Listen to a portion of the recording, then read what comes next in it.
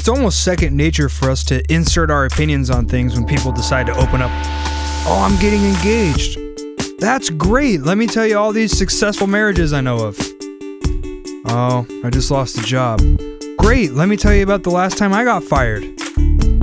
People have this tendency to just insert their opinion when really people just want to be heard. Sometimes you just need to shut up and listen.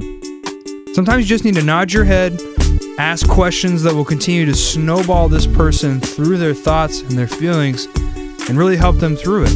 You know, why do you think that therapy, as portrayed on television, is often just some schmuck sitting in a chair? Because really, people don't want to be spoke at, they want to be listened to.